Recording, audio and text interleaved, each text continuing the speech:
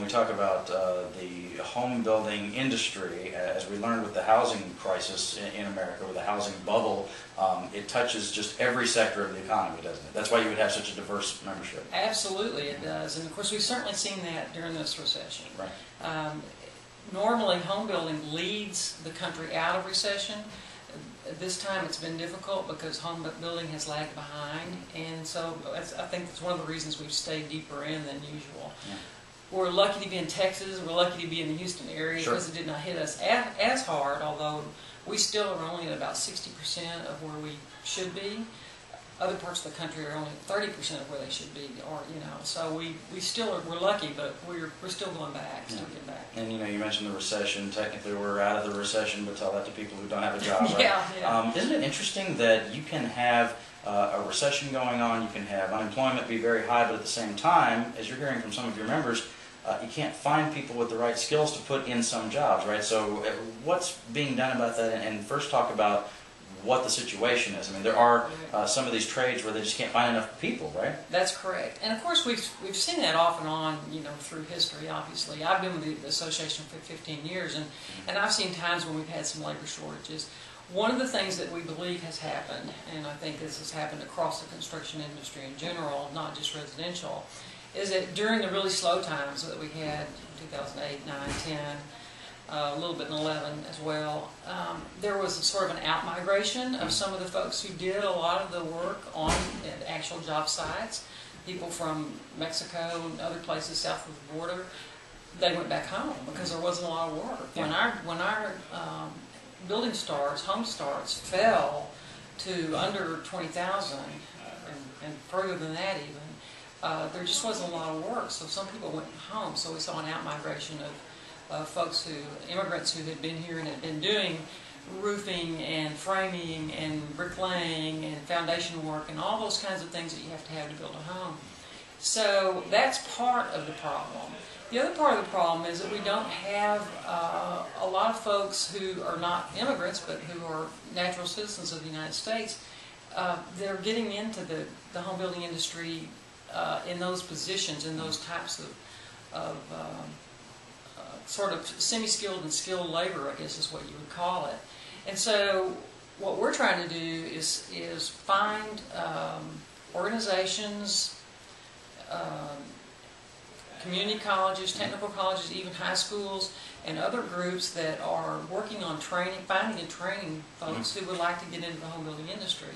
And it's not, you know, one of the one of the challenges, of course, is uh, if you take, especially a really young person, someone in high school, say, who's possibly going through some trades training of some sort, um, it's it's kind of hard to talk them into coming out in the heat of the summer and swinging a hammer when they might be able to flip burgers in McDonald's and Right. air conditioning. Sure. And so what we have to, one of the challenges we have is showing the career path because they need to see that, yeah, it may be hard right now, and you know you may choose to do that. Some people love doing that, but eventually you might be the boss. You might own this company. You might go to work for a builder.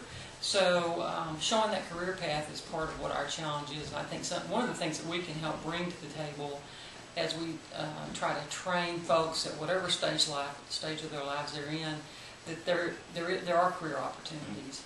Um, to back up a little bit, uh, you mentioned that there is a problem with trying to find some of these folks. Are your members telling you that there are uh, projects that are being slowed way down because of that, Are there some that they just can't do because of that? Is it is it not quite to that point, but it at least is causing them to have some It's issues? slowdowns right now, yeah, and I've heard it from large production builders, basically all the large production builders that you hear about. You know, if you mention Trendmaker or Weekley Homes or Lennar, or any of those, they all are members here. But we also have a host of smaller builders and custom builders um, here as well, and I've heard it from the big ones and the little ones that they're having a hard time getting things scheduled because the way it works, of course, for a builder, they're the main contractor. And then what they do is they contract with independent contractors who do things like roofing, framing, uh, bricking, whatnot. And so it's those independent contractors are the ones that are having a hard time finding and keeping a workforce. So uh, what I've heard is, yes, things are slowing down for them. They're having to wait on their independent contractors because they're having to share uh, people. Uh, Interesting, just uh, a couple of days ago, we have a charity called HomeAid Houston, which is uh, an organization that helps build housing for transitionally homeless folks, mainly women and children. And we even heard that one of our HomeAid projects is, has slowed down because our builder captain can't get all the independent contractors that he needs to do the work on time, so it's taking longer than usual. And You mentioned some of the solutions on this. You're trying to work with community colleges, trying to get uh, people into these trades. Uh, Is there also an issue with our, uh, with our education system, uh, not just in Texas, but in general, that doesn't emphasize the skilled trades at all and sort of sends, says everybody needs to go to college for your degree no matter what? Yes, I think so. We've said that for a long time, and, and, you know, we've, this has always been an issue for us, just trying to get people into the business. Uh, and like I said, it's kind of gone up and down, up and down, and we, um, have had, have made attempts in the past at, at, uh, bringing folks in and it took, had limited success. And that is definitely part of the reason now, because, you know, we- we're in a high-tech world, and um, for, even for folks who are not being pushed uh, to be college bound, they're being they're they're being pushed more, or, or it's more appealing to them possibly to go into technical training where it's you know computer based, technology based, Right. and so there has. Whereas you, you used to see in high schools and in, and in trade schools, you know, folks were learning mechanics Right. and um, woodworking, uh, you know, that type of thing. You just don't see that very much anymore. Yeah, I had uh, someone who runs a, a shop who's looking for 80 mechanics. He's had the, the jobs open for a year and cannot fill it. Right. And that's, That's more and more exactly all the it. That is exactly right. Well, what do you think about um, going forward and trying to present that as an option to people? It's not that you want to force people to do that at all, but, No. but it just seems that right now it's just not an option. It's not even something that people think of. That that's very true. And again, I think part of that has to be um, that we, we partnering with the uh, educational institutions have to be able to show these young folks that this this is a career opportunity. This is not just a summer job or something to get you by till something else comes along.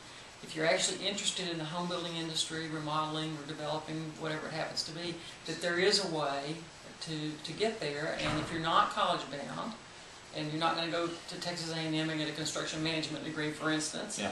that this is a way to get into the industry and uh, ha- make a have a nice career, you know, support your family, have a nice life. And so, uh, I think part of that is our responsibility, so, so, because we can take people who've been through it and say, I'm an example.